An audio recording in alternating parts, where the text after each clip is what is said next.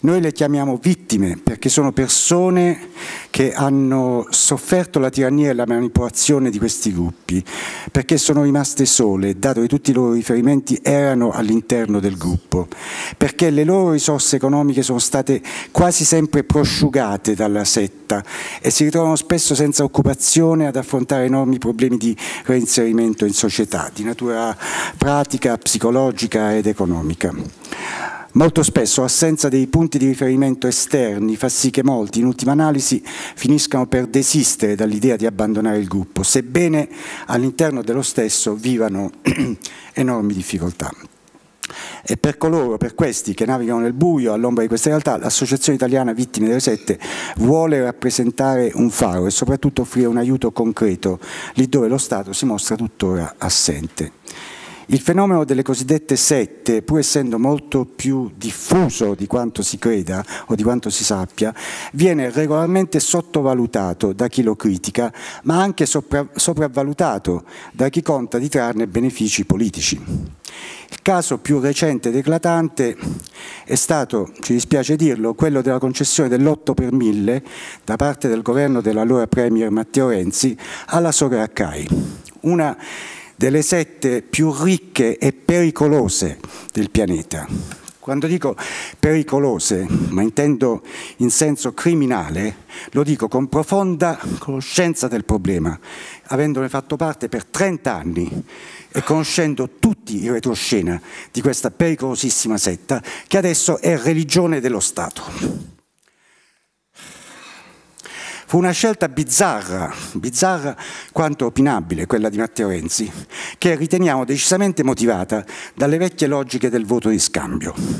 Una scelta che si è rivelata però, in definitiva, un vero e proprio inganno ai danni dello stesso Renzi, il quale aveva improvvidamente creduto sia alla millantata entità delle loro schiere di adepti che al presunto orientamento politico degli stessi.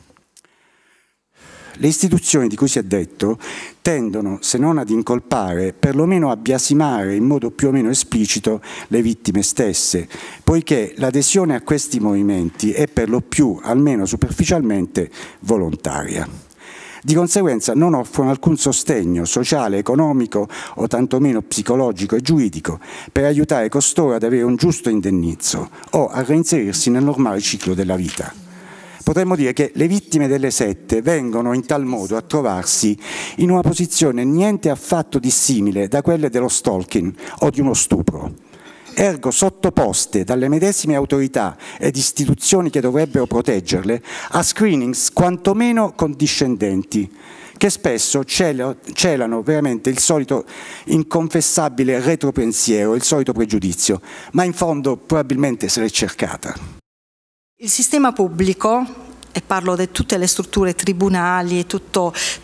le strutture pubbliche appunto che avevano rapporti col Forteto, ha mantenuto costantemente aperta una linea di credito illimitata verso la struttura, nonostante gli arresti prima del 1978, perché il capo era stato già arrestato nel 78 per gli stessi reati per cui è stato condannato oggi, e poi nel 2012 dei vertici della cooperativa. Questo grazie anche alla linfa ricevuta da amministratori pubblici ed esponenti politici politici che hanno garantito sovvenzioni e sostegno istituzionale, cioè nessuno ha controllato negli anni cosa, mm, cosa accadesse in questa comunità.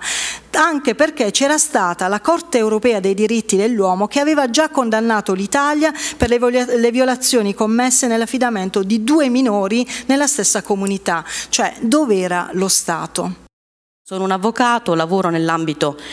della uh, violenza, uh, esercito la mia professione uh, essendomi già specializzata nella violenza endofamiliare, intrafamiliare, quindi contro le donne ma anche contro gli uomini e eh, ho riscontrato delle analogie molto interessanti per ciò che riguarda appunto eh, la violenza che viene esercitata all'interno dei gruppi eh, considerati sette. Mm, nella fattispecie concreta c'è una difficoltà incredibile eh, nel, nello scindere e nella divisione esistente tra la libertà di autodeterminazione di un individuo e quindi la possibilità di scegliere consapevolmente e scientemente di far parte di un gruppo e eh, ovviamente la difficoltà che poi questo diventi una uh, sopraffazione da parte del guru di turno che esercita la manipolazione mentale. Lo Stato è assente in queste cose. Abbiamo partecipato alla, alla eh, promozione di eh, nuove interrogazioni parlamentari e di una eh, mozione parlamentare. Non hanno ricevuto nessuna di queste, nessuna risposta. L'Italia quindi è proprio indietro in tutto questo. E volevo prima eh, dire una cosa all'avvocato all che ha parlato prima che dobbiamo specificare che nessuno entra in una setta, nessuno vuole entrare in una setta, nessuno sa di entrare in una setta altrimenti non lo farebbe. Le sette hanno una maschera molto eh, appacificante, molto coinvolgente, ti, parlo di sette abusanti, ti eh, promettono la risoluzione di tutti i tuoi problemi nella maniera, più, nella maniera più dolce. E in Italia negli ultimi anni si sono diffuse delle sette molto pericolose che entrano nel campo della salute. Passerei la parola, e li ringrazio ovviamente per la loro presenza, eh, al senatore Pietro Liuzzi, eh, membro della Commissione parlamentare d'inchiesta sul femminicidio, nonché su ogni forma di violenza di genere, e ehm, alla dottoressa eh, eh senatrice Angela Donghia, sottosegretario di Stato per l'istruzione, l'università e la ricerca. Dunque, mm, rapidamente introduco l'intervento di eh, Raffaella, ma prima quelli di Toni, di Lorita eh, e dell'avvocato Avvocato Montanaro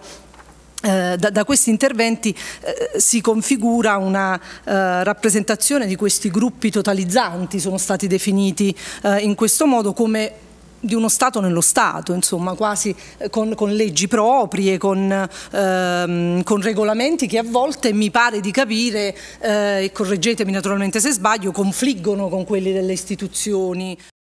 Quello che voi state presentando qui oggi sicuramente è un progetto importante. Io quando parlavate pensavo a questa che poi effettivamente è una dispersione sociale.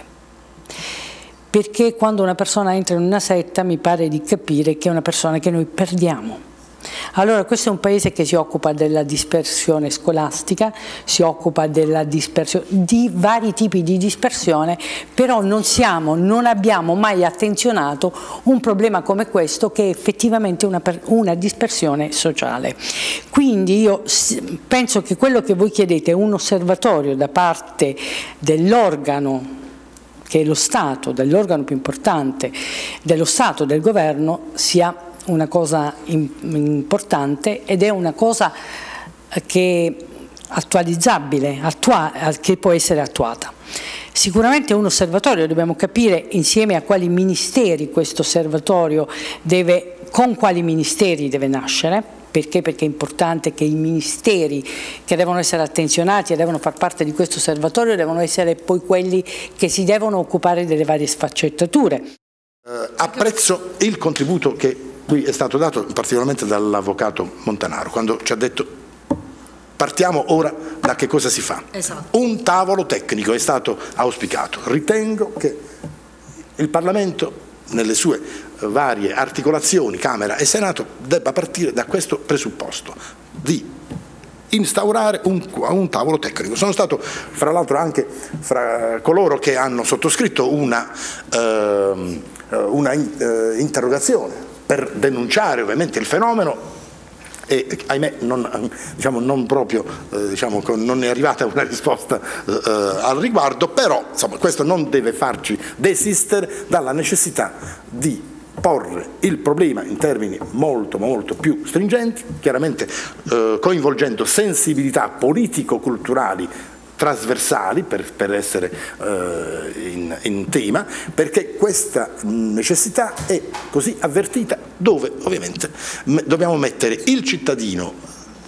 in grado di avere certezze, eh, assicurazioni, in grado di guardare ancora allo Stato come baluardo per la propria incolumità fisica, psicologica, in grado di eh, assicurare lo Stato ai cittadini la integrità, chiaramente prima di tutto patrimoniale e poi dal punto di vista della qualità della vita perché ognuno di noi non può rinunciare a questo presupposto di natura etica, morale eh, e ovviamente eh, sociale. Ecco, questo per quanto mi riguarda è un impegno che prendo qui al, eh, consesso, in questo consesso e al cospetto appunto di, degli autorevoli membri di questa bella conferenza stampa e ovviamente di quanti come voi siete intervenuti al riguardo. Grazie.